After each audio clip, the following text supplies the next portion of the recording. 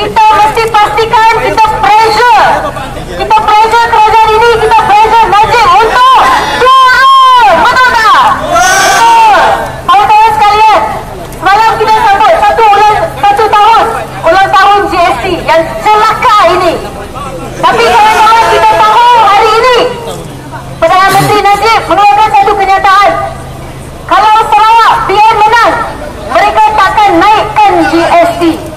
Mati. Kalau mereka menang, mereka takkan naikkan GST.